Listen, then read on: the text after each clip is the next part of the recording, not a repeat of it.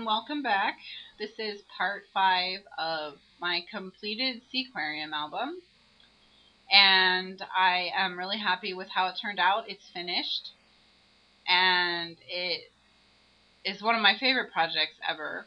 Uh, my husband says that I really shouldn't call it a mini album um, since it's the size of a Bible, and you'll see it's very thick. But I love a chunky book, so so you can see this is what I used. I used the Tim Holtz 5x7 tabbed grunge board, grunge book. Um, and it was great to work with. I loved it. And so you can see how these are not the rings that came with it. I added these rings. These are two inch rings, and I actually ultimately changed them to three inch rings um, because the book was buckling a little bit, and I just needed some more room.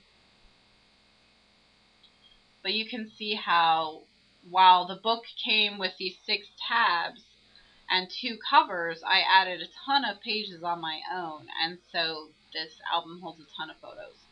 So there you can see the shiny embossing on the front and back covers. And it does look like concrete. I was really happy with how it turned out. Okay, so here's where I've incorporated some memorabilia. This is a piece of a map they gave us. And then here um, are my photos. And there's the um, chipboard that I used, the life preserver, for the Flipper Dolphin show. And those Making Memory Tiny Alphas. And that um, scalloped tab and there's that sticker that I matted on a scalloped punch out. And then some more of these photo pages with the labels.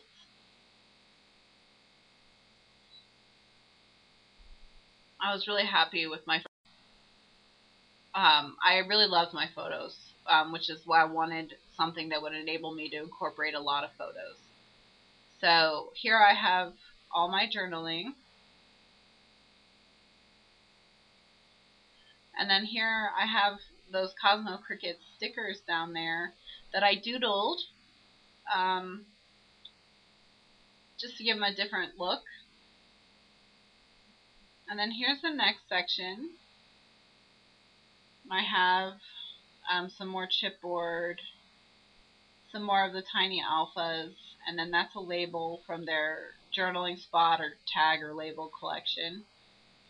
I put those brads through it. There's room for more journaling on the back. I use those brackets. And then more of the 5x7 photo pages, some of which I have embellished with chipboard. That one says beach bum. I thought it was funny because the uh, sea lions are actually smacking them on the bum. So um, just more photos of the sea lion show. And this one, the sea lion has a life preserver, so I added this Cosmo Cricket life preserver border sticker to it because I thought that was really good. The sea lion's actually rescuing someone here who's passed out, and it's now it's giving them mouth to mouth. I just thought these were funny, fun pictures. So on to the next section, which is all about fish. It was an aquarium that we went to. So this section's all about fish. So I used the fish paper and I embellished it with the fish ribbon. And there's my squid with his bling bubbles. And then more of those photo pages that um, I embellished. And there's that, that's a giant fish. Look, if you see those are mirror, those windows up there are, are several feet high. So that is a gigantic fish. Um, so big. And I just wanted to draw attention to it, which is what I used the frame for and with the gems. And I also like that it kind of looks like a porthole, which just kind of emphasizes the sea theme. And then here's the sharks.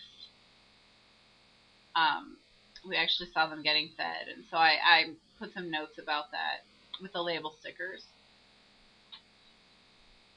And here's the next section, which I embellished with the little submarine and the whale and the fish and more bling and um, the velvet ribbon, the scalloped velvet ribbon, which I love.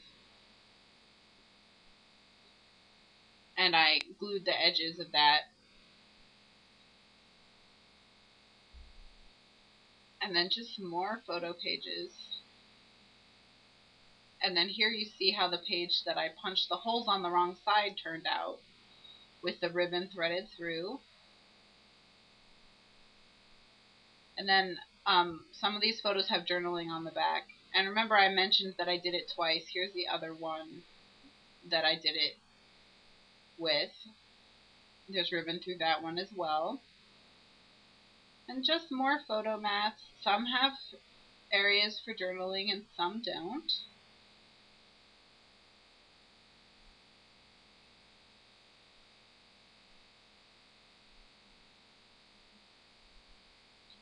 And all these pictures were taken with a point and shoot camera. Um, I just was having a good photography day. so I was just so happy with all these photos. Alright, so here's the next page. And it's all about birds. And it's mostly these photo pages. You know, there's a turtle. He was getting a giant salad while we were there. And there's this iguana that was trying to steal the turtle food. Um, just more pictures with labels. And then here's the last section.